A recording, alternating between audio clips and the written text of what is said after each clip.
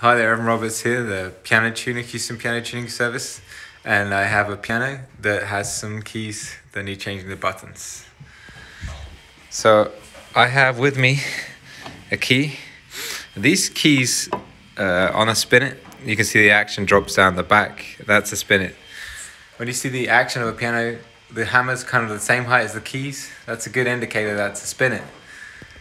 So somehow there was some mouse poop in the bottom of these keys. Nice, I just cleaned it. It's all been cleaned up and hoovered and everything. Checked for any wear or anything. But I think the mice pooped on here. I think the mice pooped on these keys. Uh, there's no explanation otherwise than that. See these rubber buttons? These are fine, fine, fine, fine, fine, fine, fine, fine, rusty. Fine, fine, really rusty. Fine, fine, fine. So all I can think is that the mouse pooped in the keys and peeped on the back of these, peed on the back of these. See, that's a button. And then here, I just received a delivery in the mail of these new buttons. So, I'm gonna get this button. I'm gonna sand the back of here. And here's one I've done earlier. So I've sanded it with Brasso, wire wool, here I have my uh, here I have my button. It's gonna go like that. There's my button. Should be um, ready to put on now. So I'm just gonna put this back on. So I need to take off this top bit. Unscrew this metal here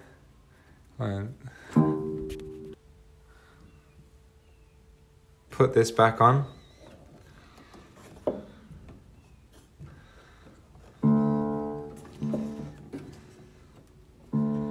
Now I'm going to screw the top part back on.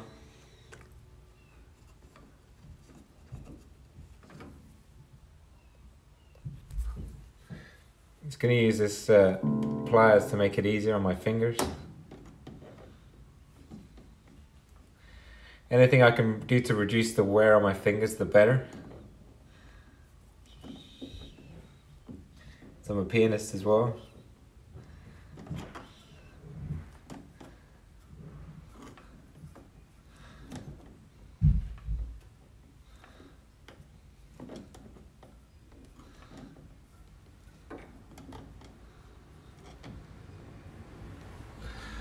Okay, so that's it basically. Some Brasso there, some wire wool, and then a pack of new buttons. I love putting new parts on a piano, there's nothing better.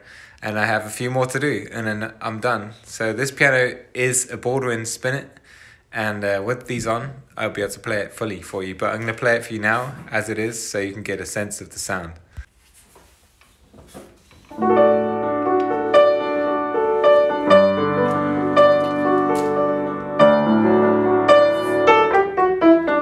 Quite a rich sound.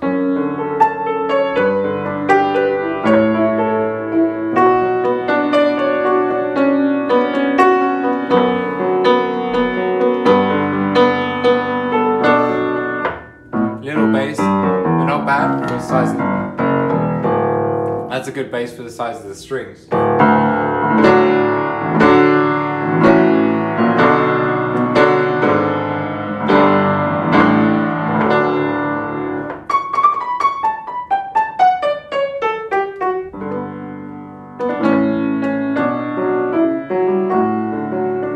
Has a rich tone for the size of piano. So my name is Evan Roberts. This is a Baldwin Spinet that I've been working on to sell.